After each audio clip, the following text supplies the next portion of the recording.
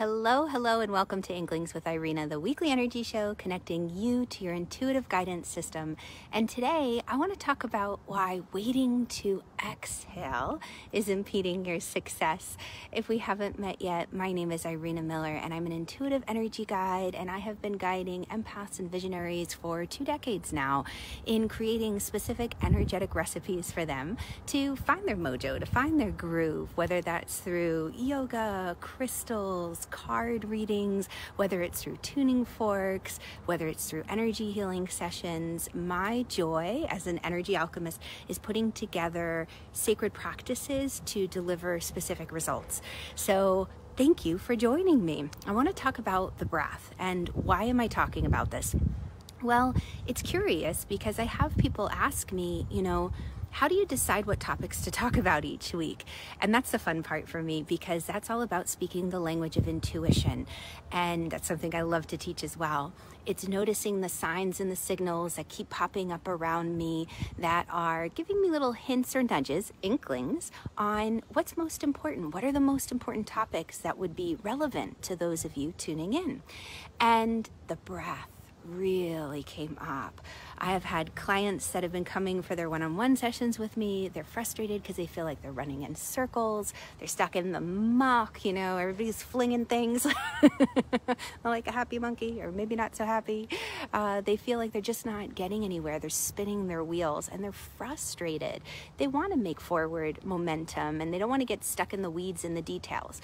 So, this is what I've shared with them that's working, and I want to share it with you the best thing you can do when you feel like something is just not quite right, check in with your breath.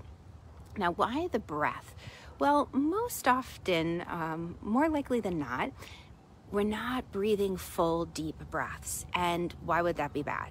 Well, when we're breathing shallow breaths just into the upper portion of the lung, what's happening is we're triggering the little cilia there, the little hair like things that are like in our nose, and it sends a signal to our nervous system that says you're in a fight or flight situation. It pumps out more cortisol into your bloodstream, which means you're going to keep on that extra fat because you're in fight or flight survival mode.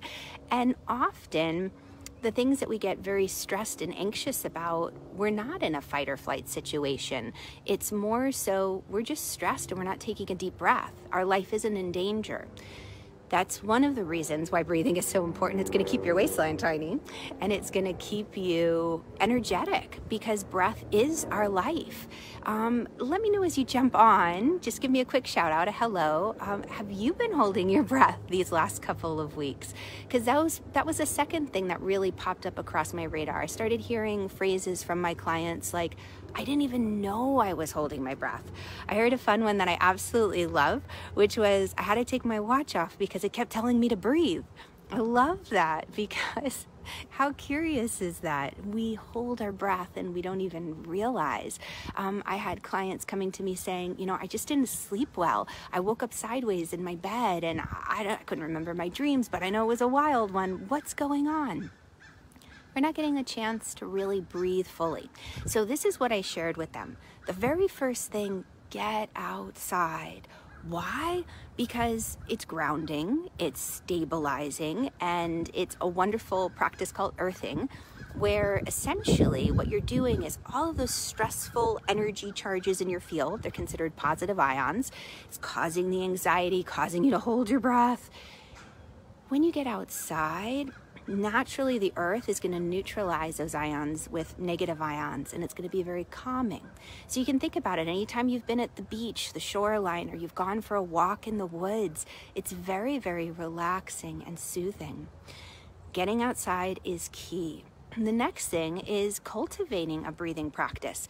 The yogis have developed a whole line of yoga around this called pranayama. Prana is our breath, it's our life force.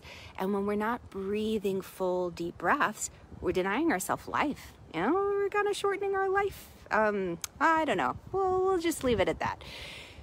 But the deep breath is important. We want to have the most um, sweet experience on our adventures in life, and the breath will support us uh, with that. So I encourage you, once you're outside, if you don't feel like you're naturally calming down, it's taking a little extra time, find a tree trees are very, very grounding. And this is my favorite maple tree here um, in my home. And it's nice to connect with the trees just simply by placing your hand on a tree and taking a couple of breaths, just like that, super simple. It's calming, it'll ground you. The other thing that you can do is let's say you really need some extra support. It's been a wild and crazy ride. I encourage you always ask the trees permission first because trees are, you know, living beings and they do an incredible job of supporting us and loving us. And there's a whole practice around trees. But you can just say, okay, tree, you know, I really need some help feeling better. I can't quite find my bearings. I'm getting distracted by all the things. I feel the anxiety. I'm holding my breath. I just need to remember what it's like to have that full, deep breath. I need to let know what it feels like to exhale and let go, that sweet release.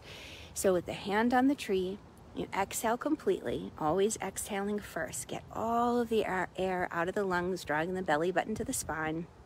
And as you exhale, imagine that the tree is inhaling. And as you inhale, imagine that the tree is just exhaled. And you create this link. You exhale, the tree inhales. You inhale, the tree is just exhaled and you start to feel this rhythm like you're just bobbing on the ocean. This calming force comes over you, very quieting and peaceful. You can even imagine that the rooting of the tree helps you to really anchor and root into the earth. And you take those deep breaths and you take that back with you, just always thinking your tree, maybe hugging a tree. I've got to hug the tree.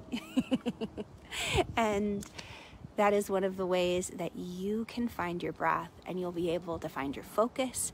All of those crazy, distracting ideas, you become clear sighted, laser beam focused, and you get things done. You move through those blocks. So, thank you, thank you for joining me. Let me know if you have breathed recently with a tree and if this has brought up more questions than answers for you. Click the link. Um, come hang out with me and play. I'd love to continue this conversation with you. Have an incredible day, and I'll catch you all on the flip side. Bye, guys.